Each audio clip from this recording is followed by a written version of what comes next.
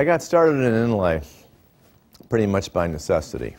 I was doing commercial cabinet work in Ohio. I wanted to do reproduction furniture. You can't do that in Ohio. There's no market there. So I moved to the East Coast, and the shop I went to work in already had a carver. They already had a uh, turner, finisher.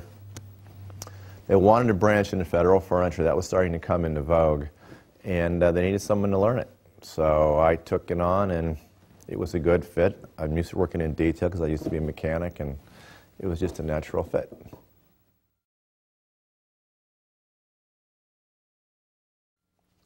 The skills involved for doing inlay, well, I mean, there's some fundamental ones. You should have pretty good hand-eye coordination. You should be able to see. Uh, as I'm getting older, that's proving to be more and more of an issue.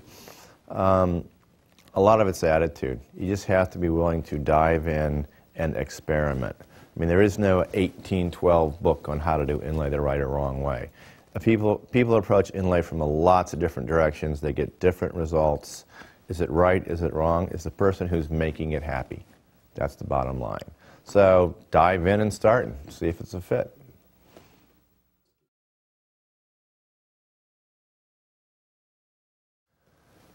Where do you apply inlay? Anywhere. And uh, you know, I mean that seriously. I mean, most of my work's traditional. We, we know that it's been established. Um, but I mean, you know, here's a little box that I had to make for my inlay tools, and I just threw a little piece of, of banding in there just, you know, to, to make it look neat. But, I mean, when I say the sky's the limit, I'm serious. I, teach a lot of workshops. And I do some of these exercises where it's, you know, one radius tool and what, what patterns can you come up with. Or, or just explore for a while. Give them an afternoon and just do their own thing. And it is absolutely amazing what people come up with. Far more creative people than me coming up with designs where I would never think to do that. But God, it looks cool. So I'd say it's to the eye of the beholder and what they want to do.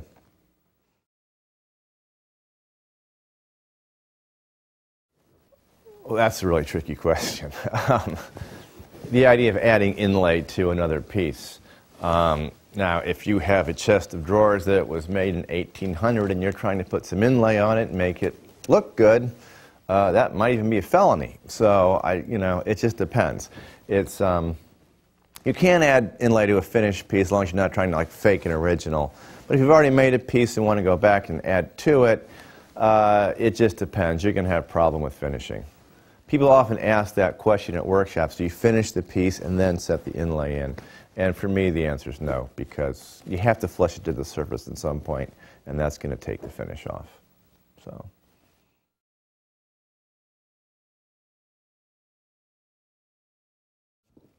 Yes, I do consider myself in the tradition of inlay making and cabinet work.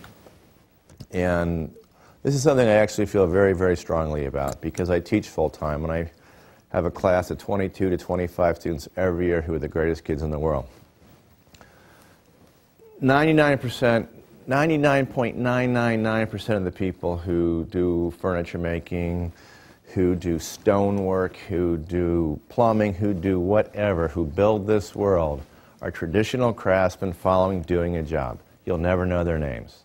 Most of this world was built by people who were, who were just anonymous. It's not the artist, it's the craftsman. I view myself a craftsman, and I'm strictly in that tradition. Yeah, absolutely.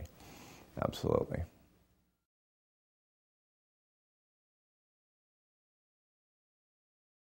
People often wonder why I prefer reproductions over um, original design? Well, first off, I do do some original design, not a lot. It's not what my clientele seems to come to me for. Um, and I'm mostly doing more interpretation where I'm synthesizing pieces. But it's, it's clearly in, in a reproduction flavor um, because I like it. Because I don't feel overly comfortable as a designer. I think it goes back to that artist craftsman thing. I feel very comfortable as a craftsman. And when woodworking is performed properly, to me, it almost is a performance thing. Um, from getting from A to B in a smooth, straight line with everything just, just being right. You know, if we'd apply some of the same standards as we do to other arts to, to furniture work, I couldn't imagine going up to someone like Itzhak Perlman and say, so when are you going to write your own stuff? He didn't write it, he's playing it. I didn't write it, I'm just kind of playing it. That's sort of how I look at it.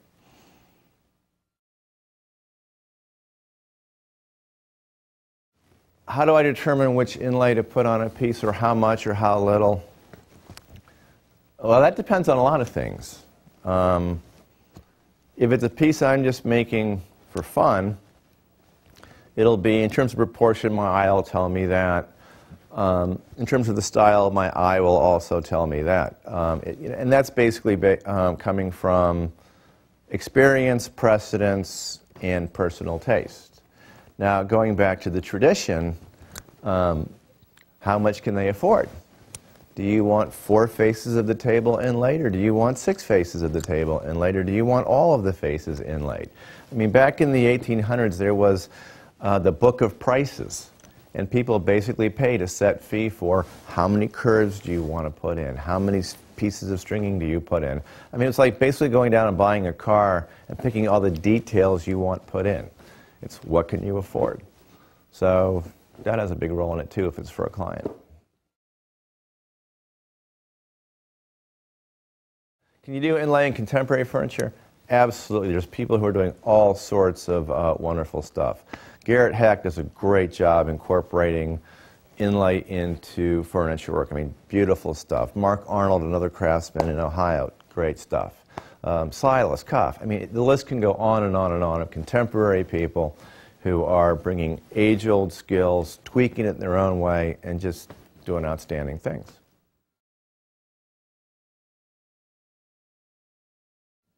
Well, fortunately, I get to teach furniture making. So that's great. And um, it was a big change of gears going from being a full time cabinet maker to teaching because things had to throttle down. I mean, when you're working in the trade as a furniture maker, uh, put it this way we have an overly romantic idea of what that's about.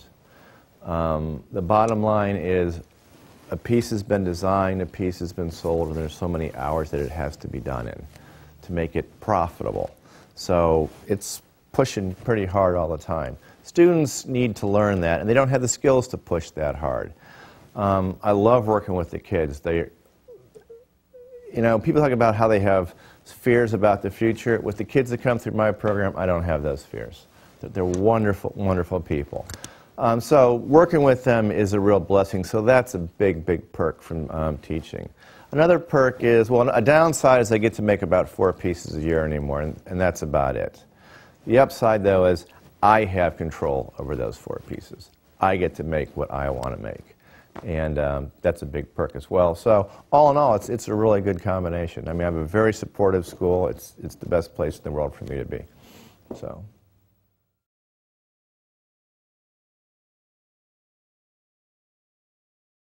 If Steve, if we did a movie on Steve Latta, which actor would play you and why?